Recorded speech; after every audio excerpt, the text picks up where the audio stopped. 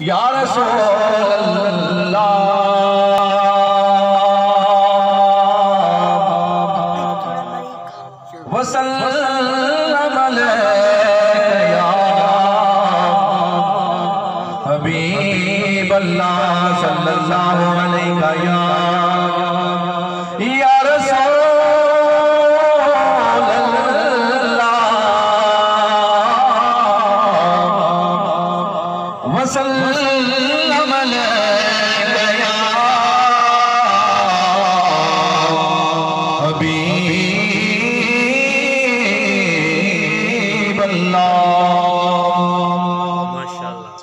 नाथ के शार शुरू करने से पहले मैं शाह साहब से कहूँगा कि वो तशरीफ़ ले आए, क्योंकि सैयद साहब हैं और हम और हम फरूक आज़म की औलाद है सैदना उमर फारूक रज़ी अल्लाह खलीफा दो खलीफा दो आप वक्त के खलीफा हैं। आपकी हुकूमत है। सैदना इमाम हुसैन अलैहिस्सलाम और आप और आप के बेटे के दरमियान झगड़ा हो गया। अब सैदना इमाम हुसैन अलैहिस्सलाम ने कहा कि आप हमारे गुलाम हैं। अब बच्चा था, थोड़ा सा गुस्सा आया। दिल में ये ख्याल था कि मेरे बाबा तो बादशाह हैं। उस दौर में खलीफा को बादशाह कहा जाता था। तो अपने बाबा की तरफ़ आए कि हजूर, ये सैदना इमाम हुसैन ने कहा है, फरमाया आप फरमाते हैं अच्छा अब बेटे ने जब अब आपने ऐसा फरमाया तो बेटे ने सोचा कि शायद कि अब ना कोई बदला ले उन्होंने कहा, ऐसा कहा है? हाँ बिल्कुल ऐसा कहा है। तो कहा कि ये ना उनसे लिखवा के उनसे लिखवाना है कि अगर उन्होंने ऐसा कहा है। अच्छा अब भी बच्चा सोच रहा है कि शायद लिखवाएँगे तो कोई शायद सरकार का पहलू ये का निकले मामला।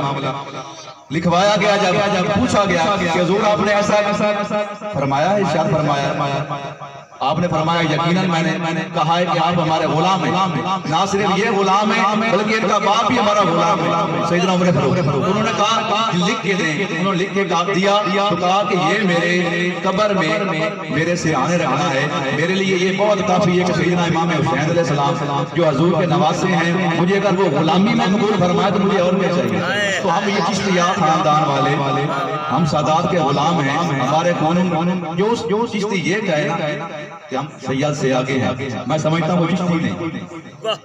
गुलाम है सादात के, सिर्फ़ जात को पहचाना। एक बुज़ुर्ग रहमतुल्लाह तआला रहते थे। इस्लाही बातें हैं, क्योंकि महफिल ऐसी है, आप कुछ लेने आए हैं, आस्थाने पे आए हैं, हजूर की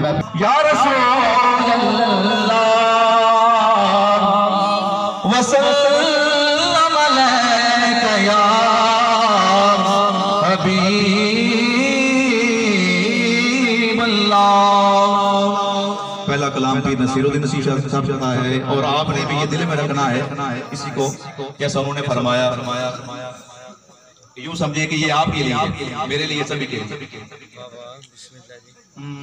मुझे पे भी चश्मे, करम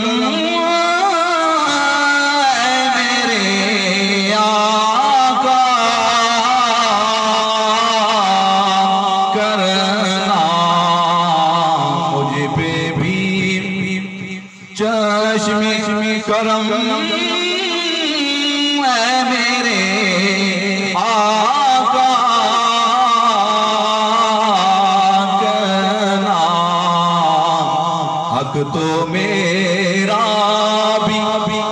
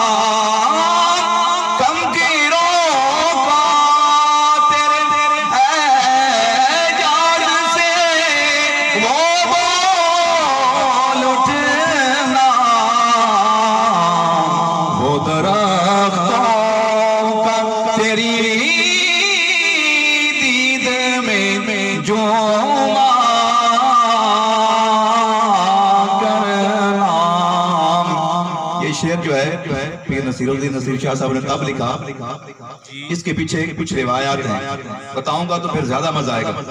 अबू जेल अबू जेल जो था, हजूर का चचा था। हजूर की बारगाह में आया में आया कहता कि, सुना तुझे इल्म गायब है। तो ये बता कि मेरे हाथ में क्या है? कंकरियाँ थी। आपने फरमाया फरमाया, अगर कंकरियाँ, ये जो तेरे हाथ में है, मैं बताऊँ, ये खुद बोल के कहें। वो खामोश हो गया। ऐसा कहना था कि कंकरियों ने कलमा पढ़ा और उसके बाद कहा कि आप मोहम्मद रसूलुल्लाह हैं, अल्लाह के सच्चे नबी हैं। तो तब ये शेर लिखा कि कंकरों का तेरे एजाज से वो बोल उठना, कि आपकी रहमत, आपकी निगाह की वजह से तो कंकर भी बोल पड़ते हैं। और इसके बाद के बाद जो जो आगे शेर लिखा, और दरख्तों का तेरी दीद पे जुमा करना। एक और था काफिर। हजूर की बारगाह में हाजिर हुआ करता है कि आप अल्लाह तला के नबी हैं। मैंने सुना है कि इतने अंबिया आए हैं, जो हुक्म करते हैं सबको तो वो सभी के लिए है, ना सिर्फ़ इंसानों के लिए, बल्कि जानवरों के लिए, परिंदों के लिए, चरिंदों के लिए, पत्थरों के लिए, सभी के लिए हैं। तो अगर आप सच्चे नबी हैं तो वो जो सामने नज़र आ रहा है अगर वो कहे ना आपका कलमा पड़े तब मानेगा। अब सवाल बहुत बड़ा था। आम इंसान के पास की बात नहीं कि दरख्त बोले। आपने कहा सिर्फ़ कलमा पढ़ाना ही उसको बुलाना भी है।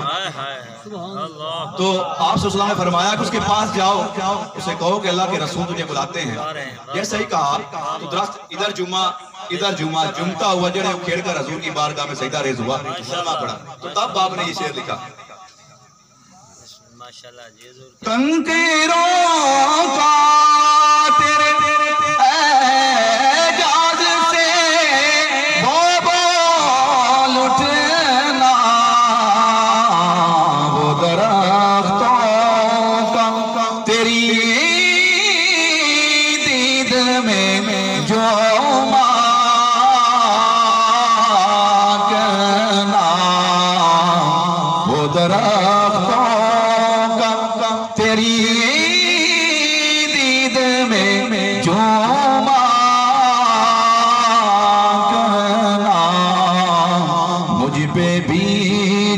चश्मे करम और मैं एक जरा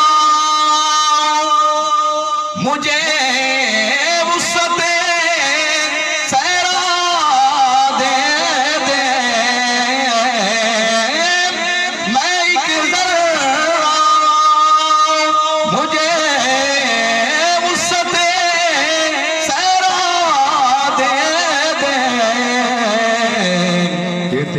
बस में है कतरे को भी दरिया करना। तेरे बस में है कतरे को भी दरिया करना। मुझ पे भी चश्मे करम क्या बात है। और मुझ पे मैं शर्म नसीर उनकी नज़र पर गई। मुझ पे मैं शर्म नसीर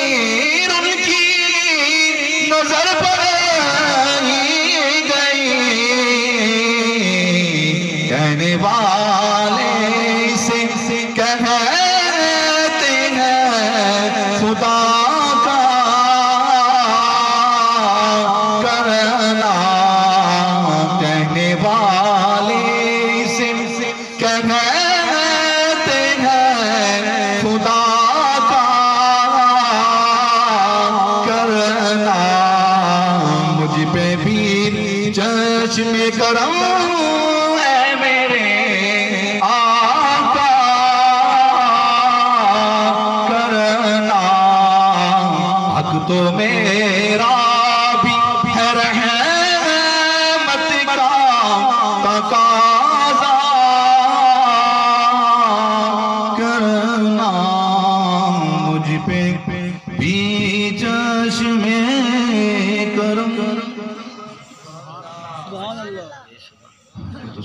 सल्लल्लाहु अलैहि या या रसूल अल्लाह वसल्लम अलैका या हबीब अल्लाह पहले था इरादा कि थोड़े से दो तीन अशार पढ़ो दो तीन अशार हैं, क्योंकि शाह साहब ने काफ़ी सफ़र पे जाना है इनको, देना है टाइम थोड़ा सा।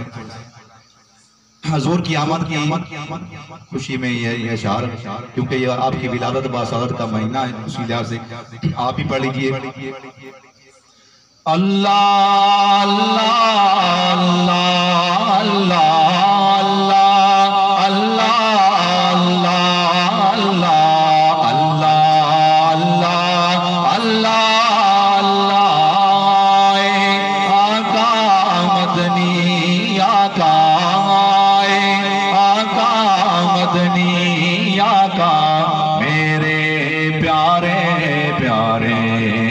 God.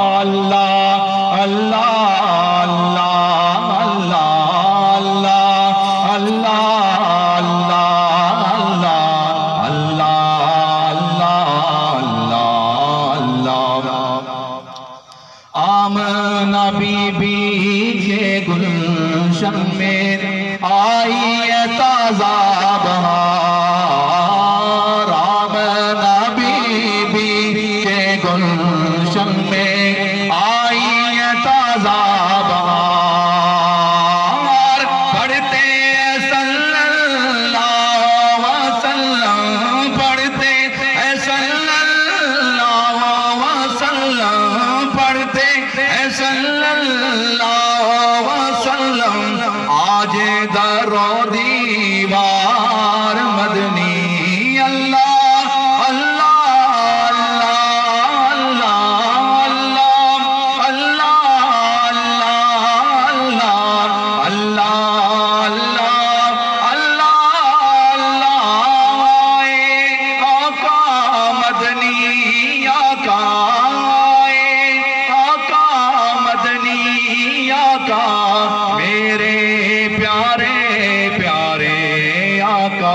जिबरी लाए, झोला झुलाने, लोरी तेज़ी शान। जिबरी लाए, झूला झुलाने, लोरी तेज़ी शान। सो जा सो जा